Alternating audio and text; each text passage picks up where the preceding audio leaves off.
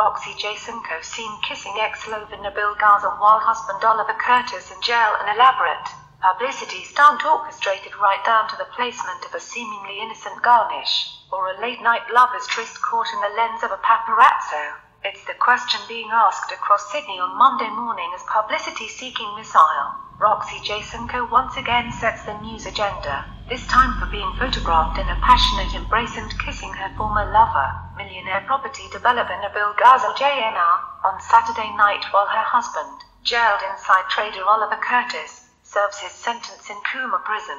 It all started on Saturday night when Jacenko arrived for dinner at one of her clients' restaurants in Rushcutters Bay.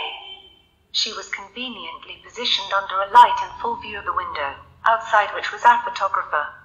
Sitting by her side was Gazal. The man PS revealed months ago had been spending a lot of time privately with Jacenko, although she has constantly denied anything inappropriate was going on as her husband remained behind bars. Just days ago, when asked on radio about her marital status, she confirmed that she was still a wife. Jacenko left the restaurant ahead of Gazal, although the pair later met friends at his multi-million dollar New Beach Road abode in Darling Point, where, in the early hours of Sunday morning, they were photographed kissing passionately, standing in full view of a large glass window looking out over the street below. It was not terribly discreet. Last month, PS revealed Jacenko was wearing a $50 000 diamond eternity ring which had originally been a pendant given to her by Gazal at Christmas. The story was verified by two independent sources despite Jacenko's denials. She has since stopped wearing the ring in public. Jacenko has not responded to PS calls since the latest photos of her with Gazal were published online.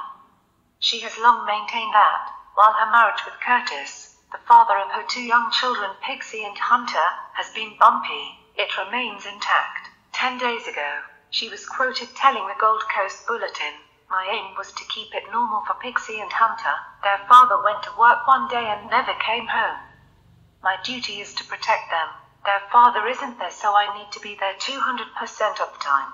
Throughout Saturday night and into the small hours of Sunday morning, Jacenko appeared quiet, at home inside Gazal's apartment, as a stream of visitors came and went well into the night. While there was no sign of her children at Gazal's place, Jacenko was still seen at the residence once the sun had risen on Sunday, although a short time later she uploaded a shot claiming to be from brunch with her mother, Doreen, in Double Bay the brunch shot, of what appeared to be bacon on scrambled eggs with smashed avocado, bore a striking similarity to the meal Jason Jacenko had at the same venue, and which she had uploaded, on March 28th, right down to the placement of the garnish. A few hours later, she uploaded another image on Instagram with her son Hunter, supposedly out buying him a new toy on Sunday.